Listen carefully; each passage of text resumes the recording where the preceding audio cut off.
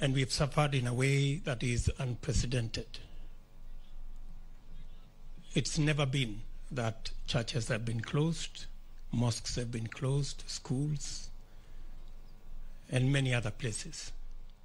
And it hasn't been fashionable not to go to work, but to stay at home. But that became our lot. But be that as it may, in fact, if uh, by the words of, uh, there is a common askari who is commanding a, a platoon somewhere in the social media. In our case, and that askari says, semeni kimeumana, we would actually have said in the affirmative because things really became bad. Your Excellency, but because of your leadership, you stepped in and our country, the ship of our country was steadied. We've progressively managed to get ourselves up. The ministry has done a commendable job. And today we are discussing how we are going to vaccinate citizens so that we can get ourselves out of this pandemic and begin to manage the economic issues and all the other issues. But be that it may, we've had also, even in the midst of this pandemic, we've had positive things. Courtesy of the, this administration, the president launched the other day the Lamu port, amongst many other projects that have been undertaken. We got ourselves a brand new Chief Justice, the first lady ever in Kenya to be Chief Justice. And also, our Speaker got an appointment with the elders. and, and I think it serves him right. After being a speaker for so long, maybe it's time to be a spokesperson. So, so much has happened in that space. But I keep, as we reflect on this day when we have come to pray, both those of us who are here and those of us who are elsewhere, two things come to my mind. In a meeting where most of us were, there are some two gentlemen who say two fundamental things. One was a bishop who asked us to try the Jerusalem dance instead of the other two that we had. So much happened, but as things stand today, the Tanga Tanga tours are not there, and the reggae has also stopped. I think we need to listen to what that bishop was telling us. We need to do something together. In that same meeting, the former prime minister also said something that was profound. In fact, in a very uncharacteristic manner, he gave us a verse. And he told us about Isaiah 1:18 that says, "Come, let us reason together." Maybe again, God is speaking to us and saying, "Come, let us reason together." Finally, last night as I was preparing, villagers came from the village, including some of my relatives, because uh, my daughter got a spouse. She works in foreign affairs, and so she got a foreigner to be her spouse. And so one of the gentlemen from the village was speaking to us and he said something again, though coming from the village, that is very profound. He was telling us about this wedding in the Bible that was in, a, in Canaan. Not, not the Canaan that we all know in Kenya, but there was a village called Canaan. Cana. And in this uh, wedding, among the people invited was Mary, mother of Jesus, uh, Jesus' mother, and Jesus himself, and others. And of course, in that whole thing, there was trouble and there was shortage na kiliumana. But because Jesus was there, things were sorted out. And he was telling us that in whatever plan, in whatever agenda, in whatever mission, have God in the equation. And I think that is profoundly what, again, we are reminding ourselves this morning.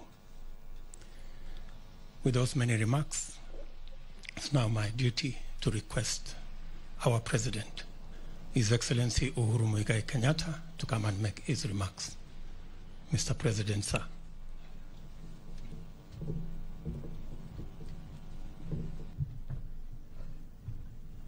Asante sana, William. Please be seated. Thank you very much.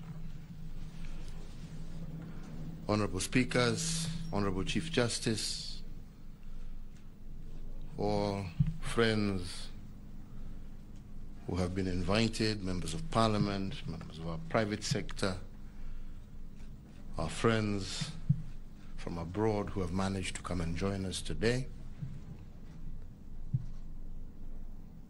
I have very few words. First and foremost is to take this opportunity to thank our two co-conveners for managing to arrange this prayer session despite the difficulties we are all facing as a country as a result of this COVID pandemic. The prayers that have been said today are all prayers that are geared to giving us our hope back. And this is really where we all need to be at a time when we are confronted by the worst health pandemic the globe has seen in the last 100 years. And the realization that we need to pull together, to work together, and we need to have hope that it is indeed possible to overcome these challenges if we pull together. I have very little to add to what has been stated so far. I have, we've heard from the health experts. We've heard from our senior, Amos Wako, about the challenges that he has gone through as a result of this pandemic and the realization of a number of issues and other challenges that still face us. As he talked about the fact that millions are probably unable to access the same standard and quality of healthcare that he was able to have. And so today, the only message I have to our two speakers, to the leadership of both the Senate and the National Assembly, there are proposals before you. Proposals that will ensure that every Kenyan is able to have access to health insurance.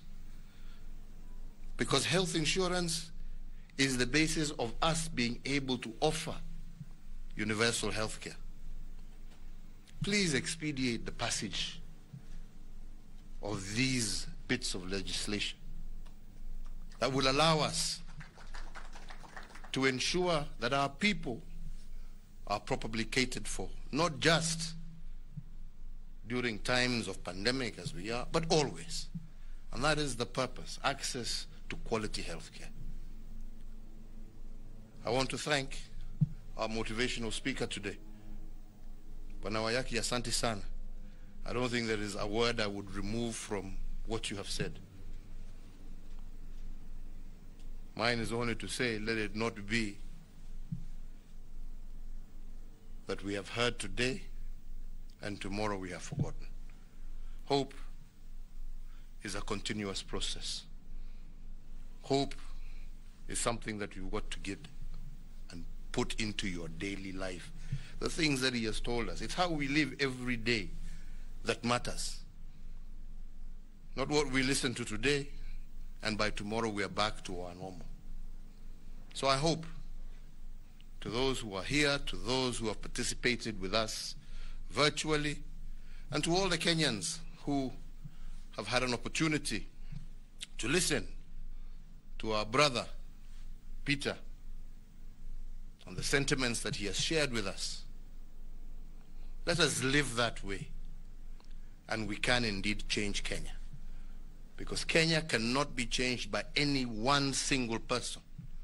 But us working together, we can, and I believe we shall make a difference. May God bless you all as you go about your duties, and may God bless this great country of Kenya. Asante sana.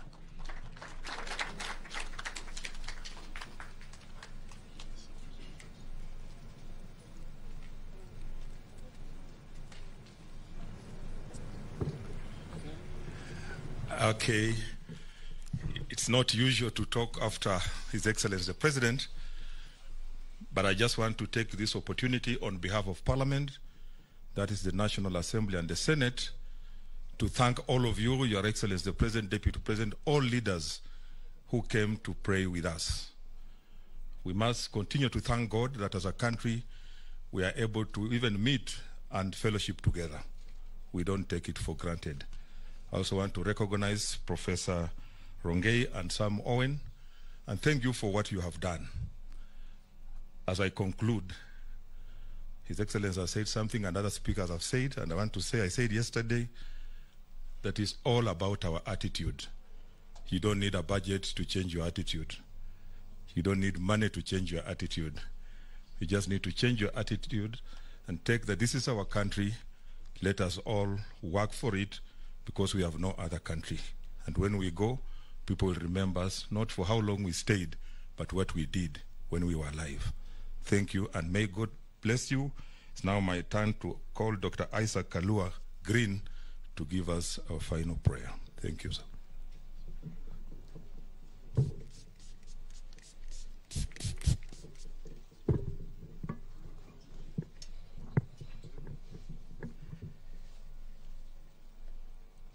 Let's pray. Our Heavenly Father, we humble ourselves before you this afternoon, this morning, thanking you for your goodness and mercy. We thank you for the great things that you have done for our nation. We ask for forgiveness where we have sinned before you, Lord. We ask that your mercies that are new every morning be renewed upon every Kenyan. Heavenly Father, we thank you as we come to you for our leaders. During the wedding in Cana, God of heaven, when things were thick, the mother of Jesus went ahead and requested that God help this situation, bring wine. Lord God of heaven, just like the mother did, I come to you, God of heaven, on behalf of every woman in Kenya, that you bring peace to this nation. That our president, our deputy president, the leaders of this nation that you have placed in high places, that God of heaven, they will speak in one voice. Lord, let it happen out of this prayer that I'm praying from the bottom of my heart.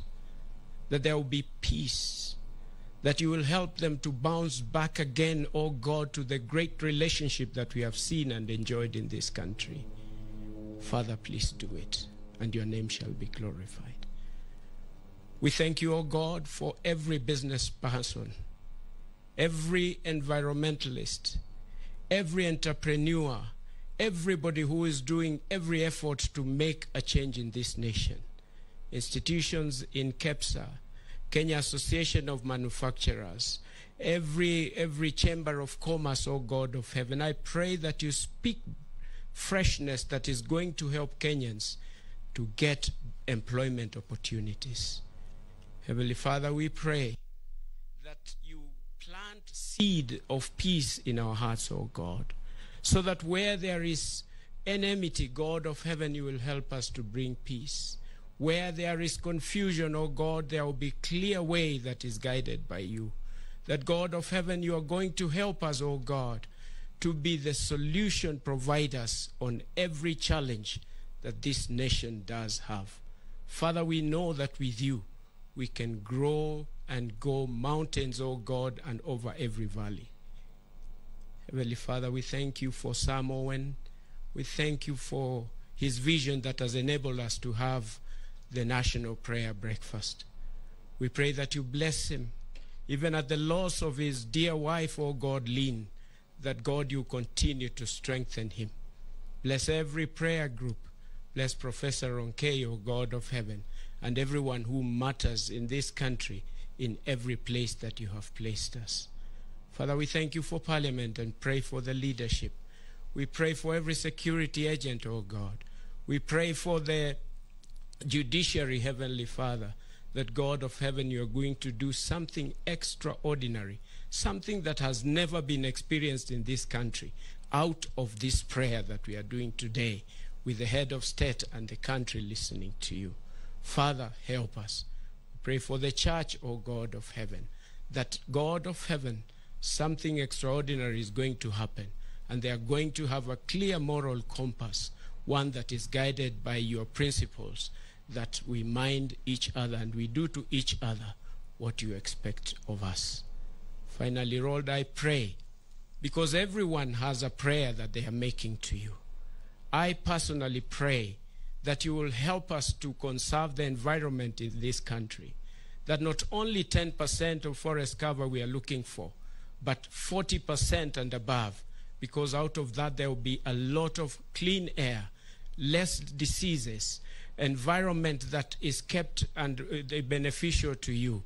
Help us, oh God, to have a country that is peaceful and our wildlife will add value to what we do. As I pray that, I know God, everyone has a prayer that they have, and I pray that you listen to them as you listen to me. Guide us and favor us today and every times of our lives. In Jesus' name we pray.